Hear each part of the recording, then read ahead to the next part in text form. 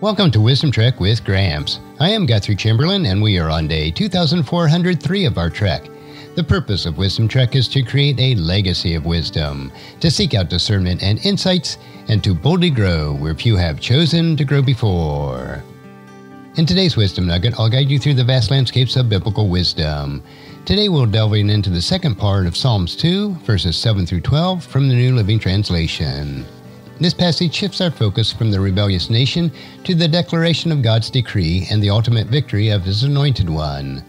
It is a powerful and profound conclusion to this royal psalm, and it offers us insights into God's sovereignty and our response to His authority. So let's embark on the trek together as we uncover the rich wisdom found in these verses. Psalm chapter 2, verses 7 through 12. The king proclaims the Lord's decree. The Lord said to me, You are my son. Today I have become your father. Only ask, and I will give you the nations as your inheritance, and the whole earth as your possession.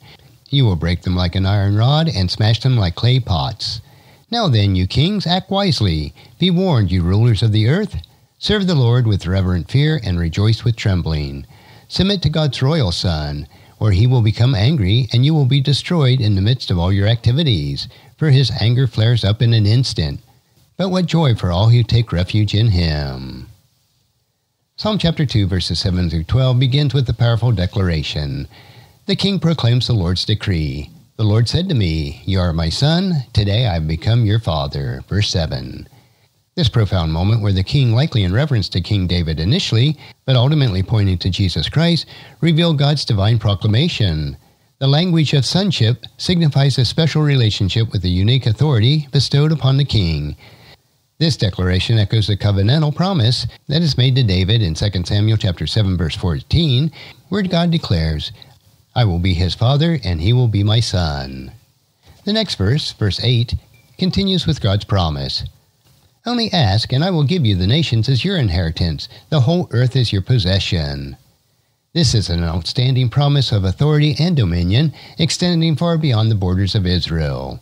The king is invited to ask, and God will grant him the nations and the ends of the earth as his inheritance. This promise emphasizes the global reign of the anointed king that foreshadows the universal kingdom of Christ. In verse 9 we read, You will break them with an iron rod and smash them like clay pots. This imagery of an iron rod and shattered clay pots conveys the absolute power and authority of the king to judge and rule over the nations. It is a vivid picture of the ultimate triumph of God's anointed one over all opposition. The iron rod symbolizes unyielding strength, while the broken clay pots illustrate the fragility of those who oppose God's rule. With the declaration of God's decree and the promise of the king's ultimate authority, the psalmist now turns to the rulers of the earth with a stern warning and a call to wisdom. Verses 10 through 12 contain this urgent appeal. Now then, you kings, act wisely. Be warned, you rulers of the earth. Serve the Lord with reverent fear and rejoice with trembling. Submit to God's royal Son, or he will become angry and you will be destroyed in the midst of all your activities. For his anger flares up in an instant. But what joy for all who take refuge in him.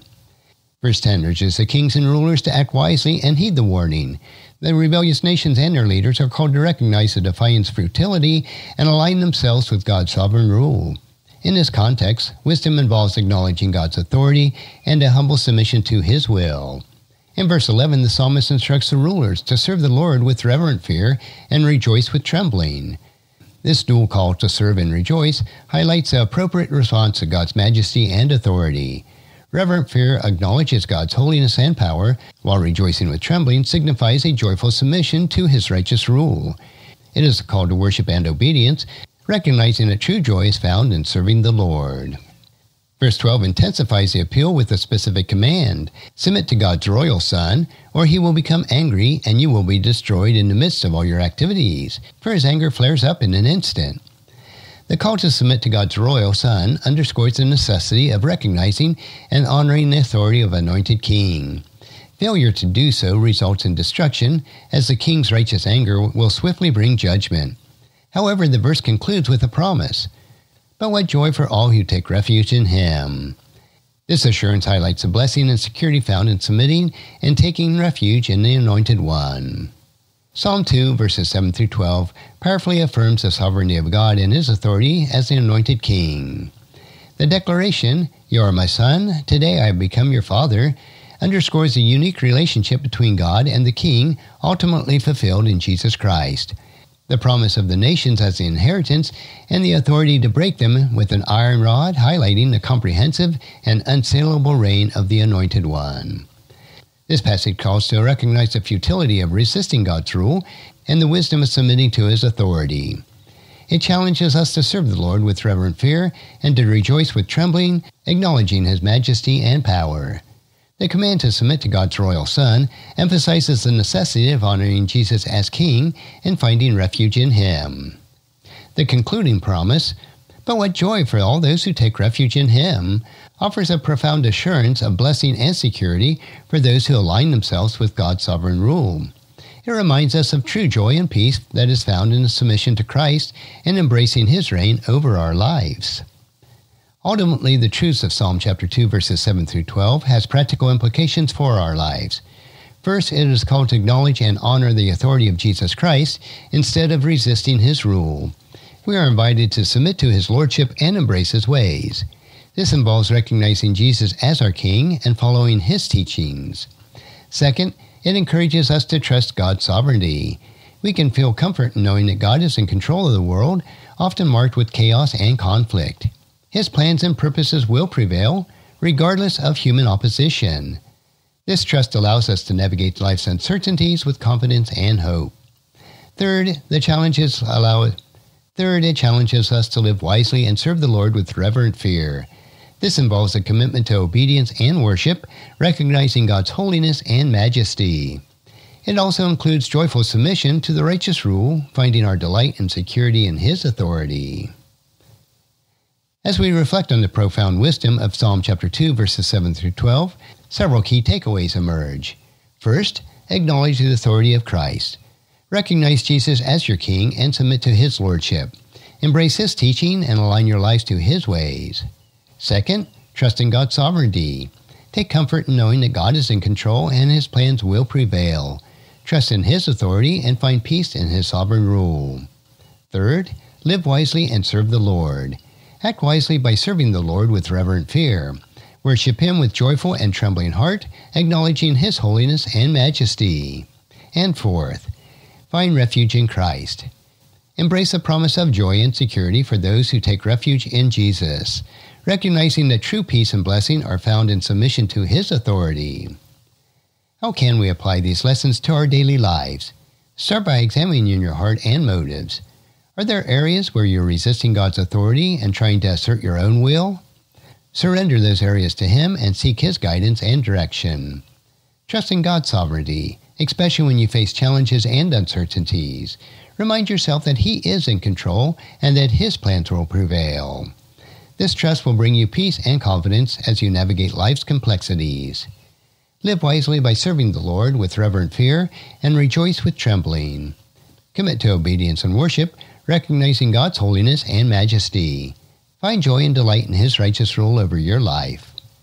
As we conclude our exploration of Psalm chapter 2, verses 7 through 12, let's carry these insights with us. Acknowledge the authority of Christ, trust in God's sovereignty, live wisely, serve the Lord, and find refuge in Jesus. By doing so, we align ourselves with Psalm's timeless wisdom and navigate life's complexities with grace and purpose.